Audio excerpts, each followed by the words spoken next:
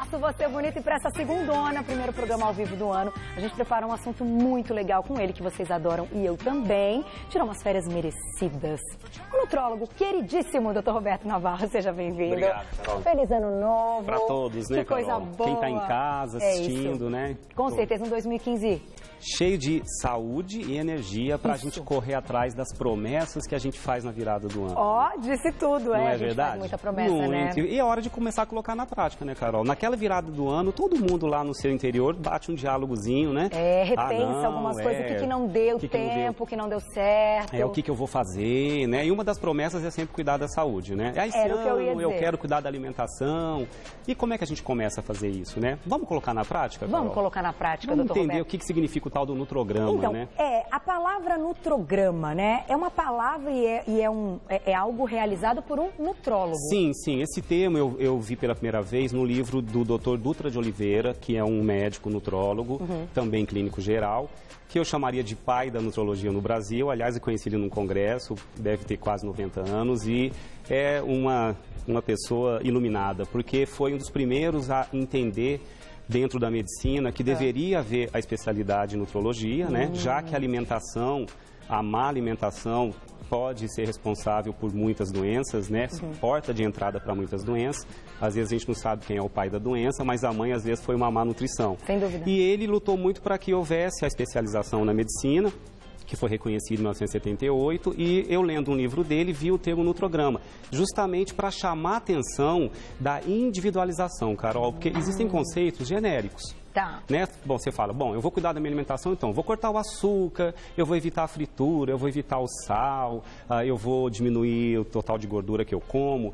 Tá, são conceitos genéricos, né? Eu vou ingerir mais fibras, né? Todo mundo tem esse conceito O que a genérico. gente sabe que é bacana. A gente Que é bacana, porque a mídia fala, os estudos mostram e todo mundo já tem esse conceito em mente. Só que existem individualidades, Carol. Quando um médico nutrólogo aborda o paciente, a gente leva em consideração muitos dados individuais para começar a montar o plano alimentar. E a, a essa individualização que exige exame físico, anamnese, doenças atuais, exames laboratoriais, análise da composição corporal.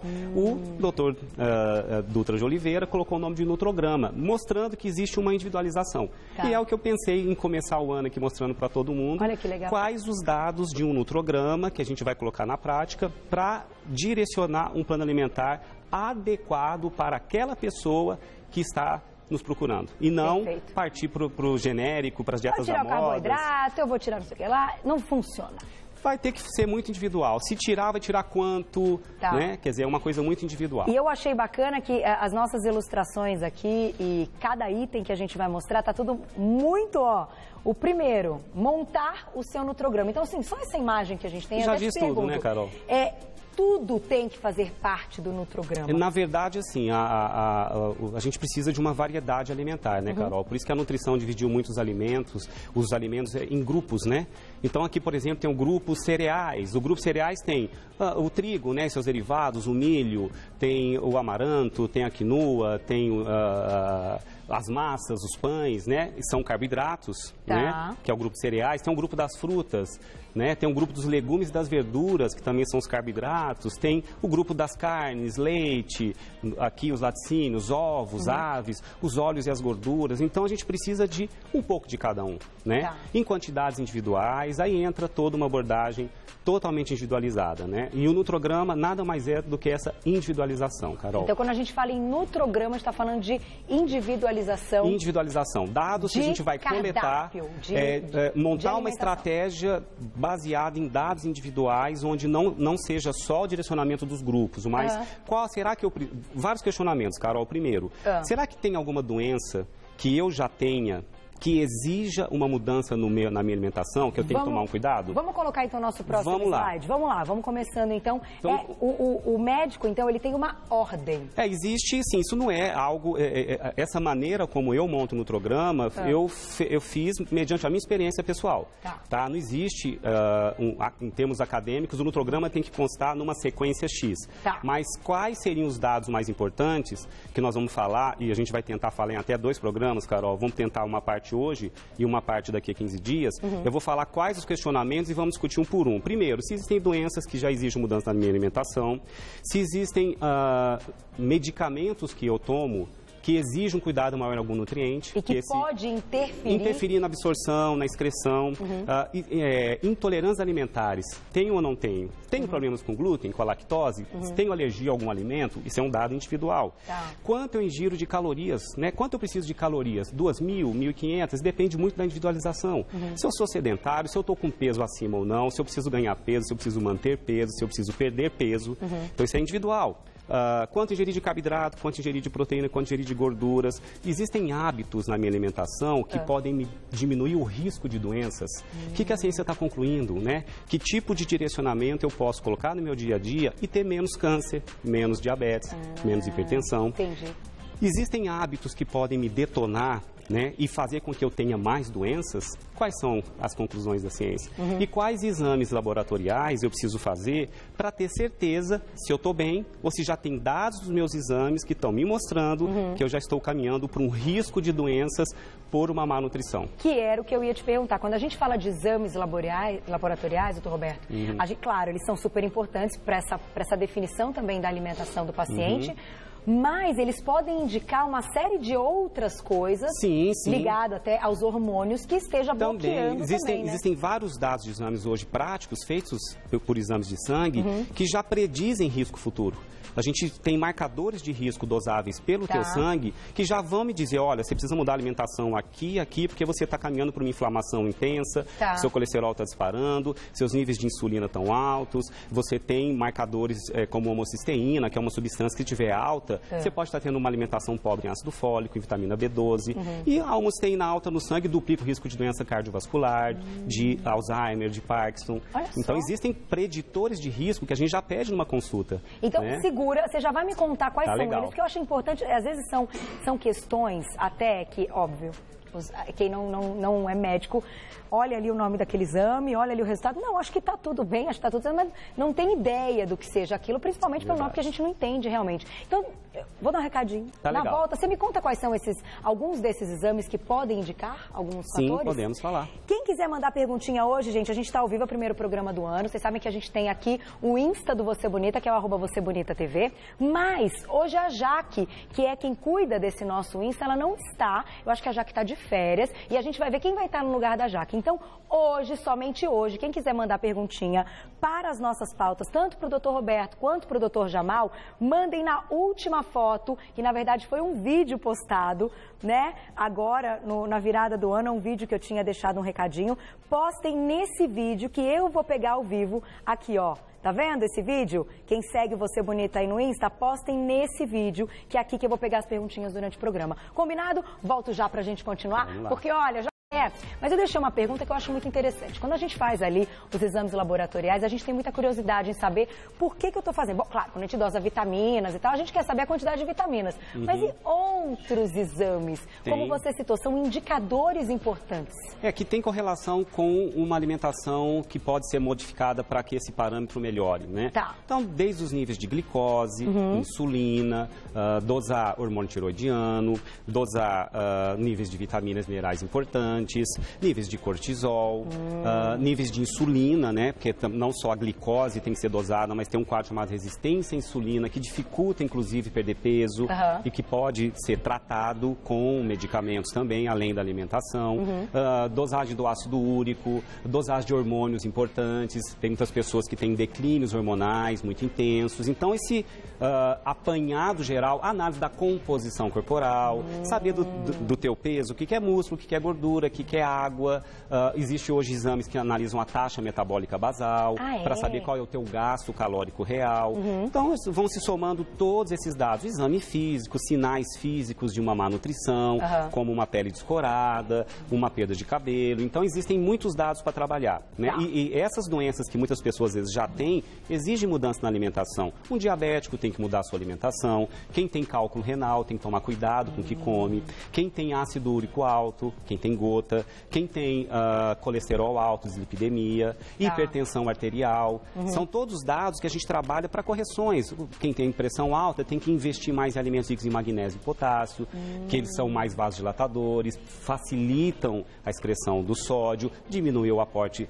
excessivo Isso, do sódio. Vocês passam no nutrograma. É, o nutrograma é um direcionamento, é tá. uma folha que a gente vai colocando todos os dados para que seja é, seguido com a ajuda do nutricionista. Hum. É, eu acho que o nutrólogo trabalha em conjunto com o nutricionista. Então tem que ter o nutricionista sim, também. Sim, no meu ponto Bacana. de vista, sim, Carol. Eu acho Olha que a gente que precisa abraçar o mundo. Existe uhum. o, o, ortopedista, o fisioterapeuta. Sim. Né? Existe o psiquiatra e o psicólogo. Né? Uhum. Né? A equipe trabalhando em conjunto, quem ganha é o paciente. Eu cheguei a montar plano alimentar meus pacientes porque eu abracei muito a causa no início, quando eu me empolguei muito, e vi que era desnecessário, até porque os nutricionistas são muito bem preparados para isso. Isso né? é verdade. A gente direciona e eles apresentam todos os alimentos para o paciente. E aí grupos, quem monta o cardápio baseado nesse no nutrograma, nos, no, nas observações feitas pelo Exatamente. médico, são os nutricionistas. Precisa ingerir alimentos mais ricos em B12 porque a sua B12 está baixa no sangue. Aí esse ou porque você coloca. ou você ingere um medicamento que é um, um, um, dos tópicos que a gente ia começar a falar da interação de medicamentos com nutrientes. Hum. Então tem vamos medicamentos. Colocar, então vamos voltar lá no, Tem medicamentos, medicamentos. que às vezes é, interferem, por exemplo, mulheres que tomam anticoncepcional, um exemplo. Interfere uh, muito. Aumenta a, a excreção urinária de ácido fólico, de vitamina B6. Hum. Uh, quem toma muito antiácido, principalmente aqueles bloqueadores de uh, acidez do estômago, pode não usar um dia, dois dias, um mês, mas tem pessoas que usam como remédio de cabeceira. Eu vou tomar meu antiácido todo dia, eu vou tomar o, o, meu bloqueador de acidez X todos os dias. Pode diminuir a absorção do cálcio, pode diminuir a absorção da vitamina B12. Tá. O uso de suplementos vitamínicos em doses altas, isso é, é tem que tomar cuidado, ah. porque existem uh, interferências de nutrientes com nutrientes. Então, doses altas de zinco pode diminuir a absorção do ferro, a absorção do cobre, então tem que tomar cuidado. Isso pode estar em medicamento. Pode estar em medicamentos, uso de diuréticos para hipertensos, uhum. pode perder muito potássio na urina, então tem que repor um pouquinho pela alimentação. Uhum. Então esses cuidados todos são importantes, né?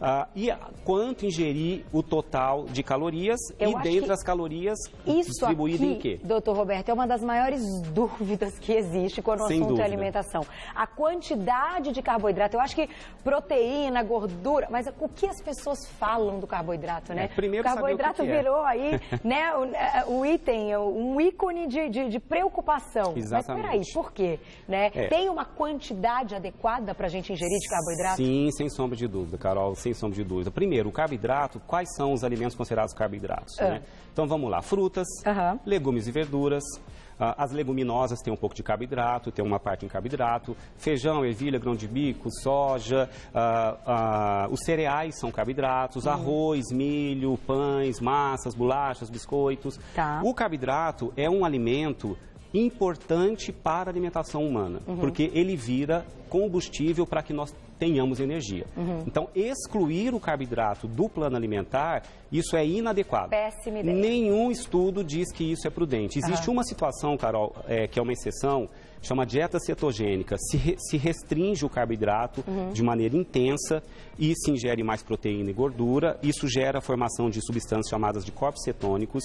Essa dieta chamada cetogênica é usada para controlar melhor crises convulsivas de crianças que o antiepilético, o anticonvulsivante não está dando conta. Ah. E parece que o carboidrato em quantidades exageradas pode estimular essas crianças a terem mais crises convulsivas. Então, Entendi. Então é a única indicação médica uhum. real de se excluir o carboidrato com supervisão médica do plano alimentar de um indivíduo. Tá? tá. Tirando isso, eu acho que é mais o modismo do que propriamente uma obrigação. O carboidrato, tá. o que a gente precisa é escolher melhor na verdade, Carol. Não é retirar, é escolher melhor. Porque uhum. o grande vilão que a ciência hoje tem que aliás está causando obesidade, diabetes, doenças é, degenerativas, são os picos exagerados de insulina pós-refeição, Carol. Uhum. Isso para a ciência está claro, todos os consensos médicos concluíram.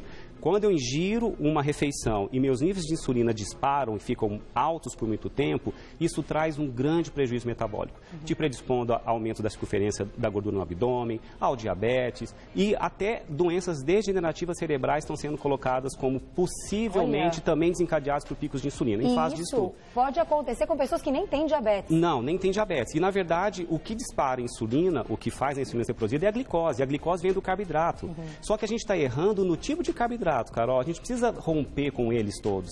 A gente está exagerando nos carboidratos de alto índice e carga glicêmica. Isso sim. Os pães brancos, Açúcares, massas. os açúcares simples, o açúcar e seus congêneres, os Aham. doces, os refinados, o arroz branco, a batata cozida, em exagero, Carol. É lógico que comer um pouquinho não tem Não tem problema, problema. tá? Mas o- a, a dieta ocidental hoje é riquíssima em carboidratos de alta carga e índice glicêmico. Uhum. Isso sim faz mal. Agora, não precisa excluir o carboidrato da- do dia a dia. Mas se a gente fosse falar, até já de pegando perguntinhas aqui, tá, gente? Já vou, já vou fazer a perguntinha aqui da Pri. É, não, é da Mari, Mari Pires, que tá ao contrário aqui no Insta. Já vou fazer sua perguntinha, tá? Mas, assim...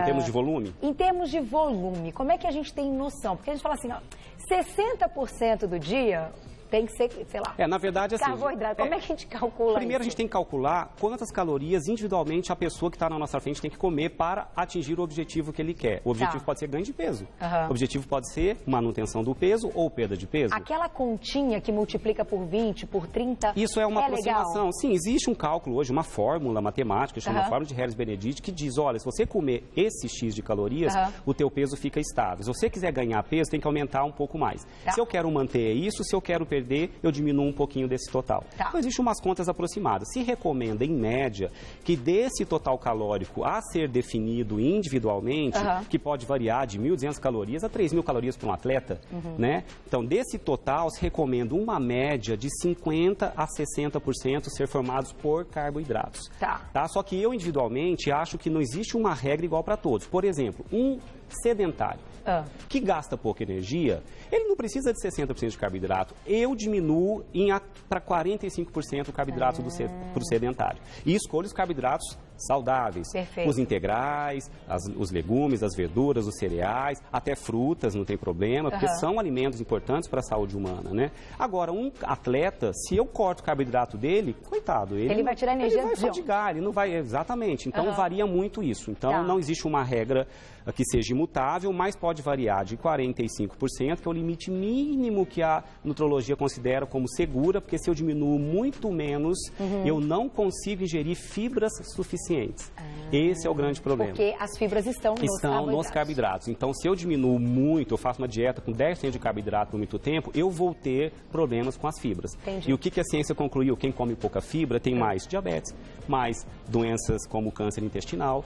Então, não existe esses padrões que a gente tem que querer. né? Acho que o grande erro que eu interpreto assim, Carol, como médico, tá? principalmente como nutrólogo, eu não padronizo dietas iguais para todos. De maneira alguma. Talvez seja o grande erro. E todo mundo quer uma dieta padronizada. Ah, eu vou seguir esse ano a dieta X, eu vou, eu vou aquela dieta que compra na livraria, Que é aquela que a minha amiga perguntam. está fazendo. O que, que, que você fez, quando a gente vai perguntar para uma amiga, o que, que você fez? Aí as meninas que seguem as blogueiras. Isso, Uma exatamente. pugliese, né? Geração pugliese. Mas o que, que a pugliese faz? Eu quero fazer dieta igual da pugliese.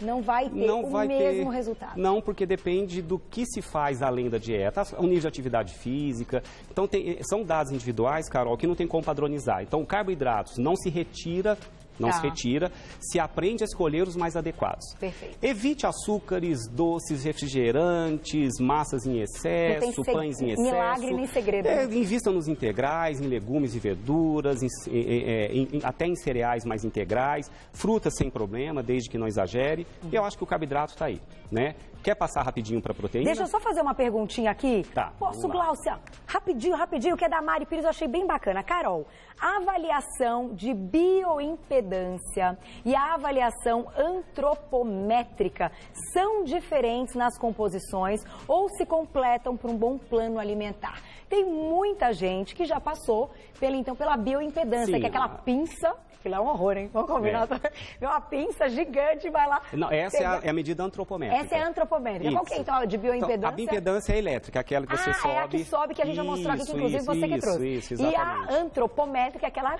gigante pinça que vai lá em cada dobrinha. Exatamente. É a mesma coisa? Na verdade, se complementam, Carol. As primeiras medidas que foram É. propostas de análise de composição corporal foram por medidas de prega cutânea, com adipômetro, Tá. circunferência por centímetros dos braços, Uhum. membros. Era, é, continua valendo, é, é bem bacana, é preciso, não Aham. tem uma margem de erro muito grande, mas tem algumas interferências ruins. Por exemplo, paciente que está inchado, Ah. que está, que a gente chama de edemaciado, com retenção líquida, falseia o tamanho da prega por retenção de água no tecido subcutâneo. Entendi. Então, isso tem a- a- a- algumas limitações. Como a própria bioimpedância também tem algumas limitações. Aham. Mas, no final, hoje, a gente faz mais pela praticidade, porque a bioimpedância você realiza em um minuto. Mais rápido. Os aparelhos modernos, com margem de erro mais baixa, a medida antropométrica leva um tempo maior. Entendi. Mas cada profissional escolhe aquele que acha mais adequado. O importante é que toda vez que se repita Uhum. o exame de composição corporal, se repita, se for na questão de análise de composição corporal por antropro- antropometria, que seja o mesmo examinador. Tá. Porque ele sabe a pressão que ele fez. Então, se você ficar mudando de examinador, pode dar margem de erro. Olha que Idem bioimpedância, use o mesmo aparelho. Tá. Se você ficar mudando de aparelhos, não é legal. Então, Entendi. importa Até é porque que o o próprio médico sabe, tem uma noção, uma ideia da porcentagem de erro que aquele aparelho Sim. pode ter. Sim, Porque a gente sabe que sim, pode, né, doutor Sim. Roberto? Um se complementa. A bioimpedância para analisar água corporal é mais interessante, com, Tá. com mais precisão em relação à antropometria, né?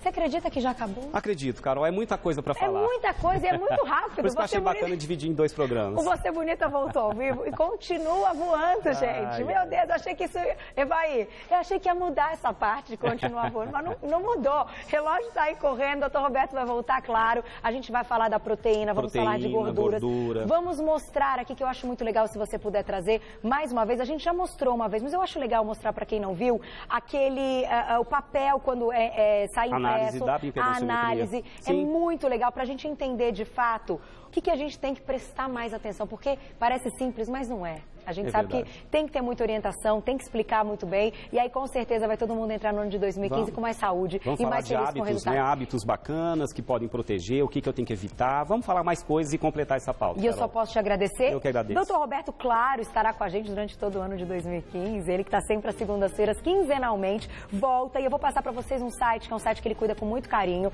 É um site, inclusive, é uma fonte de pesquisa. A gente vale a pena acessar. www.nutrasaude, tudo junto.com.br. nutrasaude.com.br. Lembrando mais uma vez, doutor Roberto é nutrólogo e clínico geral. Muito obrigada. Eu agradeço, um ano maravilhoso para você, para sua pra todos que família. estão em casa, especialmente para essa família, você bonita. Que... É bom demais. Tá com saudades também. Que eu né, me doutor sinto adotado. Ah, Vamos completamente. até, até, Até a próxima mais. segunda. Obrigada.